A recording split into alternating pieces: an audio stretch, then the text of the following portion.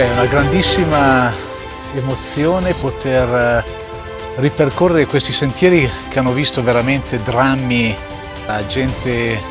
sofferente, eh, morire in mezzo a situazioni davvero terribili. E quando vengo da solo e dentro magari in qualche trincea, in qualche galleria, mi sembra quasi di sentire questa situazione di, di, di, grande sofferenza, è veramente è toccante. Devo dire che è una grande opportunità poter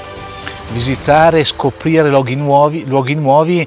in questo progetto che ci porta sul sentiero della Grande Guerra. Una bellissima cosa è quella che incontri lungo i nostri sentieri, lungo i nostri viaggi, nei vari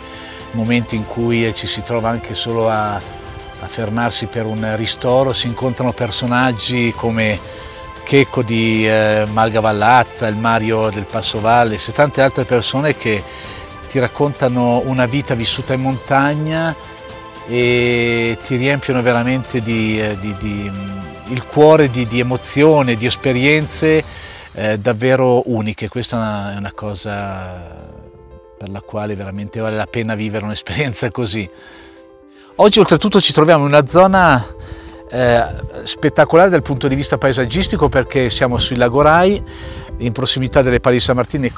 Pali di San Martino che ho alle spalle e solo guardando le cime di Colbricon e le varie cime che si susseguono sulla, sul Lagorai eh, ti, ti, ti raccontano la storia della guerra. La cosa drammatica è sapere che qui sono state delle battaglie, le famose battaglie delle mine,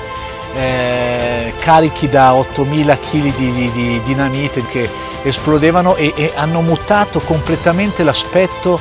della montagna, quindi questo ci, ci, ci fa capire quanto, quanto drammatica sia stata la guerra.